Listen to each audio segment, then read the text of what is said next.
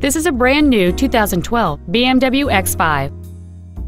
It has a 3.0 liter six cylinder engine, an automatic transmission, and all wheel drive.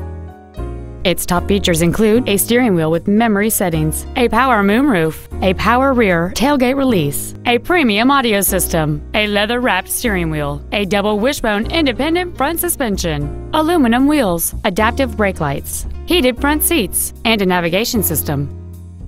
This vehicle won't last long at this price. Call and arrange a test drive now. BMW of Nashville is located at 4040 Armory Oaks Drive in Nashville. Our goal is to exceed all of your expectations to ensure that you'll return for future visits.